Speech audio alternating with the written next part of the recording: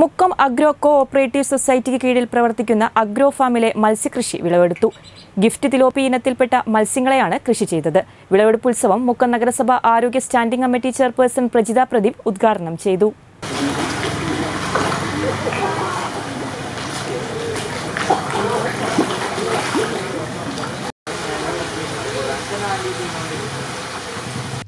Mukkam agro ഫാമിൽ ചെയ്ത മത്സ്യകൃഷിയുടെ വിളവെടുപ്പാണ് ഉത്സവാന്തരീക്ഷത്തിൽ നടന്നത്.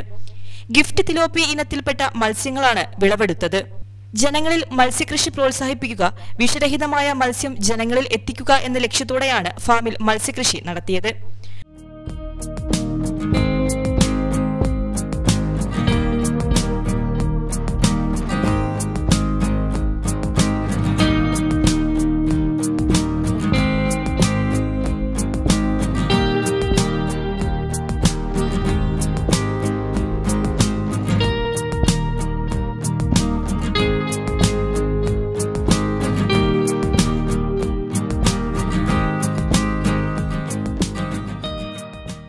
വരും ദിവസങ്ങളിൽ മത്സ്യകർഷകർക്ക് കരിമീൻ ആസാം വാള ഗിഫ്റ്റ് തിലോപ്പി ചിത്രലാട തുടങ്ങിയ ഇനത്തിൽപ്പെട്ട മത്സ്യക്കുഞ്ഞുങ്ങളെ സബ്സിഡി നിരക്കിൽ അഗ്രോ ഫാമിൽ നിന്നും ലഭ്യമാകുമെന്ന് Mukkam agro cooperative society president Sajeesh Mutheri പറഞ്ഞു.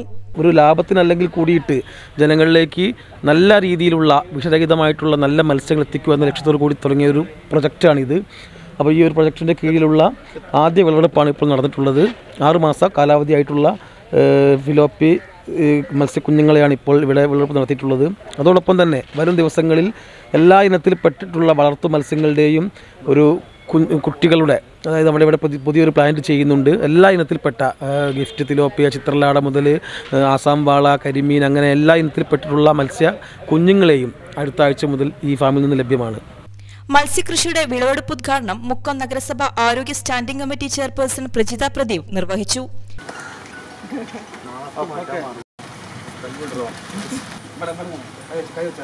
ചടങ്ങിൽ society president Sajeesh Mutheri Santhosh John society secretary Ashwin Das Saufeeq Vengalath Pradeep Azad Mukkam തുടങ്ങിയവർ സംബന്ധിച്ചു.